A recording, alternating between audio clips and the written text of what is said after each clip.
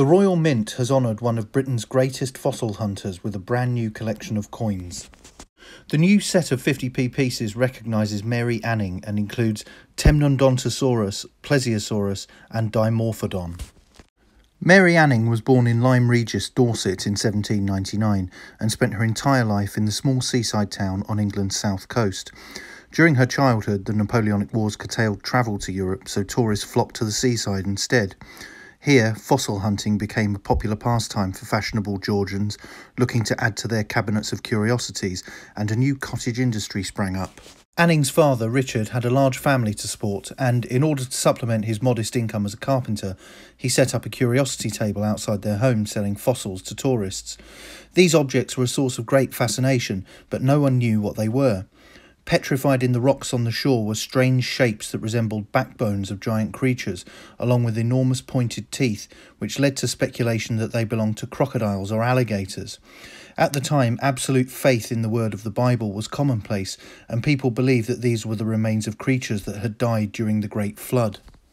Anning took a keen interest in helping her father, and amongst the curiosities they discovered were snake stones, ammonites, devil fingers, belemnites, and vertebrates vertebrae. Fossil hunting was a dangerous business. There was always the risk of being caught by the tide, as well as by rockfalls, and sometimes Anning and her father had to climb the slippery rock face to escape the rising waves. In 1810, disaster struck as Mary's father fell on the cliffs and later died from his injuries. In 1833, Anning also had her own brush with death, almost losing her life during a landslide that killed her beloved dog, Tray. The loss of Mary's father left the family destitute, and the resulting hardship meant that of all the Anning children, only Mary and her older brother Joseph survived. While Joseph was apprenticed to an upholsterer, Mary continued to search for fossils, something at which she had become highly skilled. Anning was still only around 12 or 13 when she found the first articulated skeleton of an ichthyosaur, a type of marine reptile that once roamed Jurassic seas. In 1823, she found another sea lizard, unearthing the first complete plesiosaur skeleton, which initially baffled scientists because of its abnormally long neck. And in 1828, she discovered the first pterosaur skeleton in England. Named Dimorphodon by the paleontologist Richard Owen, millions of years ago, this winged reptile once filled coastal skies. Combing the beaches in all weathers, this series of astonishing discoveries make Anning one of the greatest fossil hunters of the Victorian era.